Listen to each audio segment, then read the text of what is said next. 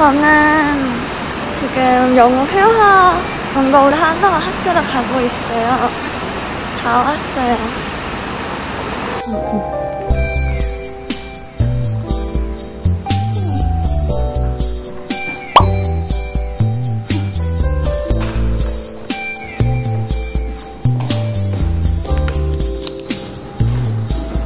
오늘은 영어 회화를 하고 스테이시노 게이시 작가의 전시회를 갑니다.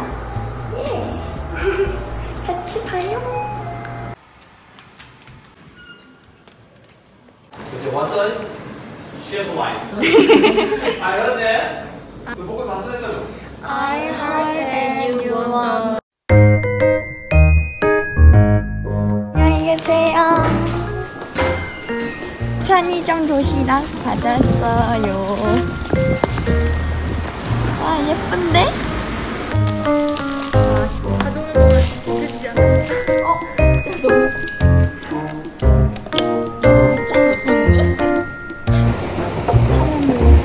혜원이 나와도 돼?